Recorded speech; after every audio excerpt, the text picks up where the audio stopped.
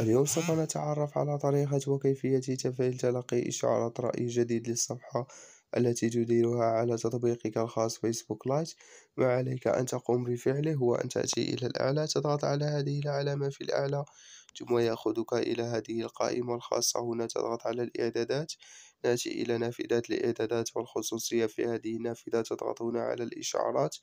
بعدها نأتي إلى نافذة الإشعارات الخاصة. سوف تقوم بالنزول إلى الأسفل. تأتي إلى الصفحات التي تديرها ثم تضغط على صفحتك الخاصة التي تديرها هنا.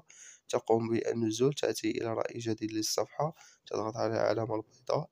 هنا أصبحت باللون الأزرق يعني تم تفعيل تلقي إشعارات رأي جديد للصفحة التي تديرها على تطبيقك الخاص فيسبوك لايت وهنا نكون قد قمنا بالتعرف على هذه الطريقة الخاصة هنا. أتمنى هنا أن تكونوا قد استفدتم منه. لا تنسوا الاشتراك والضغط على زر لايك ونلتقي في فيديو آخر إن شاء الله.